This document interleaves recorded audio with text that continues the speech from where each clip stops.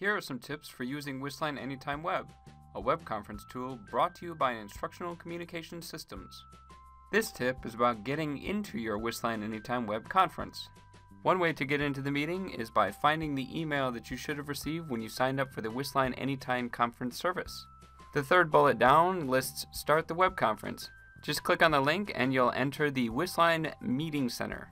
The information there should already be filled in with your name and information, but if you need to fill it out, make sure that Web Audio Conference is checked, and then click Start. You should have received an audience invitation along with your presenter invitation email, so you can go ahead and forward that on to anyone who's going to be participating as an audience member. They'll just click on the same link and sort of go through the same process. The other way to access your meeting is through the WisLine Anytime dashboard.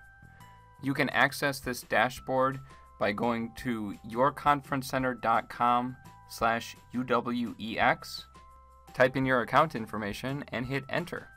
If you don't have an account yet, you may still need to find the email that was sent out when you set up your WisLine Anytime account.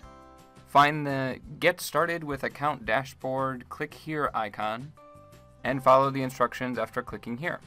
If your email happens to hide images, you may have to enable images in order to see that link. Sometimes it gets hidden because it's an icon.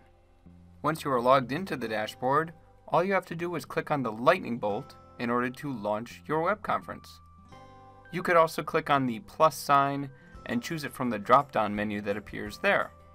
These have been some tips about how to access your WisLine Anytime Web meeting room. Be sure to look at some of our other tips about WisLine Anytime Web, and thanks for watching.